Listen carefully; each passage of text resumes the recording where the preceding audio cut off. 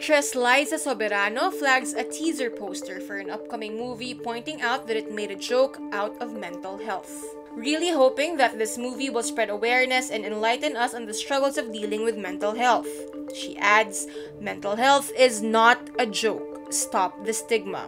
The actress is referring to the poster for upcoming movie Tililing starring Baron Geisler, Gina Pareño, Chad Kinis, Donnalyn Bartolome, Candy Pangilinan, and Yumi Lacsamana, among others. They are photographed with their tongues stuck out. Director Darryl Yap in 2019 told the media the film title is, quote, a Filipino term for someone who is not sane. Online users agree with Liza and point out the poster misrepresents people with mental illness and proves there is still a strong stigma on mental health in the country.